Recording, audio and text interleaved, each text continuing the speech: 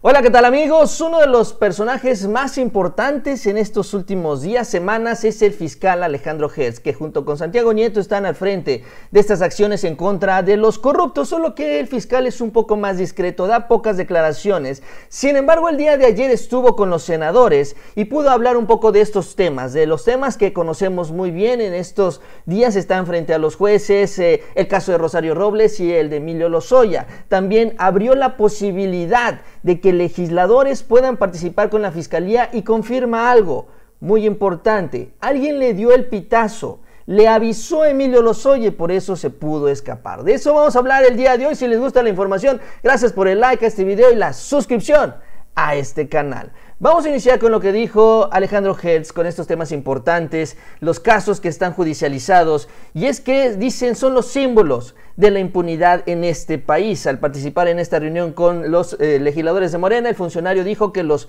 presuntos responsables de estos ilícitos también han sido puestos a disposición de los jueces, salvo aquellos que fueron avisados y huyeron del país. O sea, hace Emilio Lozoya. Alguien le avisó a Emilio Lozoya. Ya lo confirma abiertamente también Alejandro Hertz. Los casos que yo señalé, dijo en el informe de los 100 días que él dio, todos, sin excepción, han sido consignados. Todos los asuntos que eran una especie de símbolo de la impunidad en este país, todos, todos han sido consignados, dijo el fiscal Alejandro Hertz. Sin embargo, queda ese prietito en el arroz que es Emilio Lozoya, esa escapada, esa fuga que se dio justamente el día que fueron por él a su casa en las lomas. Y es que lo que se tiene reportado es que ese mismo día, esa misma tarde, Emilio Lozoya estaba en la Ciudad de México, pero estaba en Polanco, estaba en un departamento que pertenece a un gran amigo suyo que es William Karam, que es dueño de hidrocina, incluso señalado por vender guachicola al inicio de esta administración, aunque todavía no se ha comprobado nada más.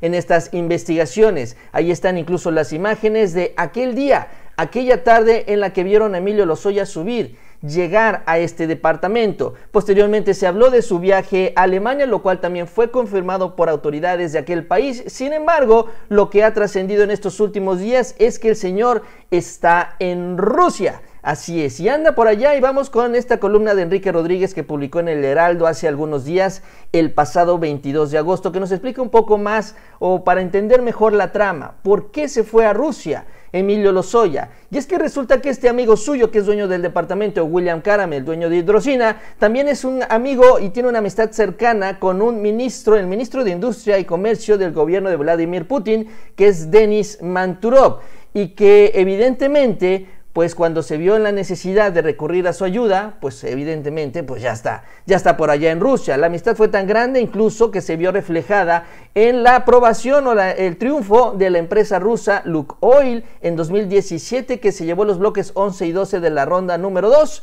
cuando Emilio Lozoya era director de Pemex. Y ahora pues les estarían cobrando el favor. La pregunta inmediata es, ¿por qué esto no ha trascendido a niveles oficiales? Y esto porque evidentemente puede dificultar la operación de la Interpol en aquella región del mundo. Eso no lo sabemos, pero es lo que ha trascendido hasta el momento.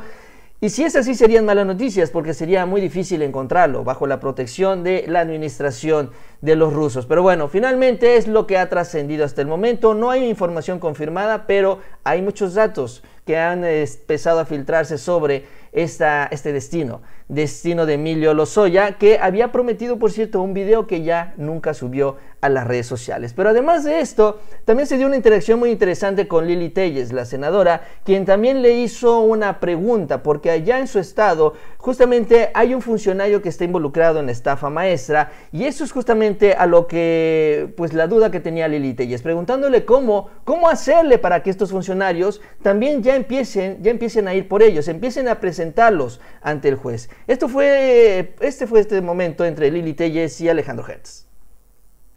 Tenemos en Sonora un personaje que fue presidente municipal de Hermosillo. Se llama Manuel Ignacio Acosta. Él es un personaje clave en el caso de la estafa maestra. Cuando hicimos la campaña por el Senado en Hermosillo, Alfonso Durazo y tu servidora, una de las promesas más importantes para la gente de todo el Estado fue que no habría impunidad en el caso de este personaje Acosta. Él dejó a la ciudad de Hermosillo en quiebra total. Es un personaje consentido de la gobernadora Claudia Pavlovich que lo ha protegido. Tiene un papel fundamental en la estafa maestra, también en el RAN, estuvo también en el RAN. Un caso de enriquecimiento ilícito a todas luces indignante. Te pregunto, ¿qué tengo que hacer como senadora ¿Qué tengo que hacer para que, para que las autoridades como la que tú representan procedan? En el Senado, aquí tengo el documento, hace unos meses hice una petición a la Auditoría Federal de la, Superior de la Federación para que nos digan cómo van las cosas con el caso de este personaje no han contestado.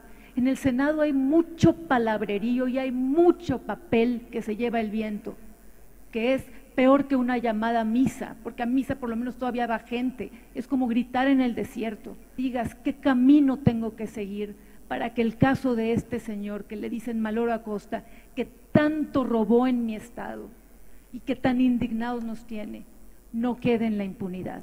Gracias, Alejandro. Eh, Lili, en el caso de el presidente municipal, yo te pido, si lo tienes a bien, sumarte a la denuncia que ya está presentada para que nosotros podamos exigirle ya a la Auditoría Superior de la Federación que entreguen esos documentos y que tú eh, puedas participar en forma permanente como coadyuvante en este caso? Entonces es interesante lo que finalmente revela en este extracto. No hay mucho, muchos datos, mucha información o videos de cómo fue esta visita de Alejandro Gertz es de lo poco que hay en las redes sociales. Sin embargo, deja ver una cosa, que la, Fiscalía está esperando información de la Auditoría Superior de la Federación. Hay el apoyo que recibiría de los legisladores es para que se apure, justamente, es un organismo también del Poder Legislativo, la Auditoría Superior de la Federación, y ellos tienen más injerencia que cualquier otra instancia ahí pueden ayudar también con la evidencia adicional que eventualmente pudiera tener en sus manos Lili Telles, pues también irse sumando a las carpetas de investigaciones, porque todavía hay muchísimos, muchísimos funcionarios de la estafa maestra que todavía no han sido presentados ante el juez. No solo es Rosario Robles, hay una gran lista y muchos nos estamos preguntando todavía por qué no están pues ya más avanzados estos casos, porque solo Rosario Robles está tras las rejas. En el caso a la que se refería o a lo que se refería Lili Telles es que en abril de el 2 de abril de este año justamente presentó este recurso, fue aprobado en la Cámara de Senadores donde se exhorta a la Auditoría Superior de la Federación que informe sobre la situación de las observaciones guardadas en las auditorías practicadas al municipio de Hermosillo por Manuel Ignacio Acosta, Maloro Acosta, como se le conoce aquí en, el estado de Sonora, y que pues eh, realmente no pasó absolutamente nada. Sin embargo, Maloro Acosta está incluido en la carpeta de investigaciones justamente de la estafa maestra y el desvío de 5 mil millones. Incluso su nombre ya está en el expediente que tiene el juez Felipe de Jesús Delgadillo Padierna. La pregunta que nos hacemos es ¿por qué no está el señor hasta el juez? ¿Por qué solo está su nombre? ¿Por qué no está él como lo estuvo Rosario Robles?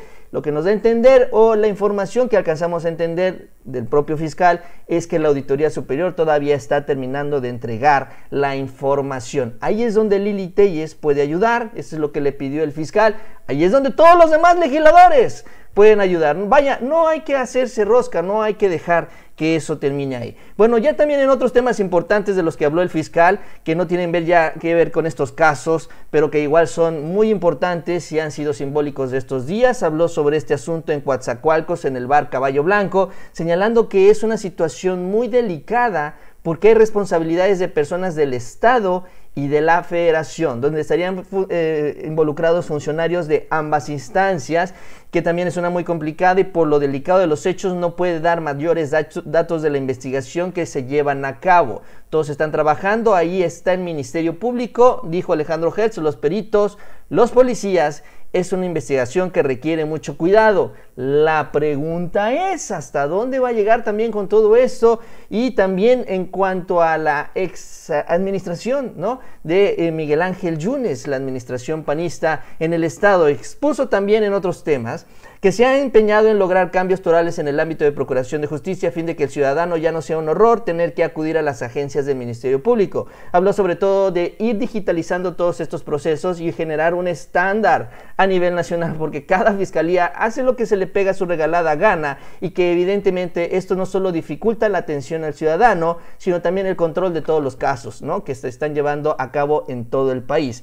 también habló de eh, que cuenta su fiscalía con 4.000 policías federales en todo el país, que es una cantidad mínima, y de esos dijo casi la cuarta parte hacían servicios de nanas, protectores, guardianes de empleados y funcionarios, lo cual era verdaderamente ridículo y los tuvo que sacar de ahí, dedicarlos a las funciones que tenían que hacer realmente en la Fiscalía General de la República en todo el país. Esa era la prioridad que tenían antes. Por eso esto nunca iba a avanzar. Lo que reportó es que del rezago se tiene contemplado que a finales de este año se tenga un 60% de avance en lo rezagado y que evidentemente lo que va a seguir adelante es depurando todos los procesos administrativos en la Fiscalía General de la República. Algo muy importante también que señaló es eh, el impulso de una ley cívica, sobre todo porque dice que la gran mayoría de los delitos en este país son robos, pero son robos por relativamente cantidades pequeñas y que como son tan pequeñas y son de ciudadanos comunes y corrientes no trascienden,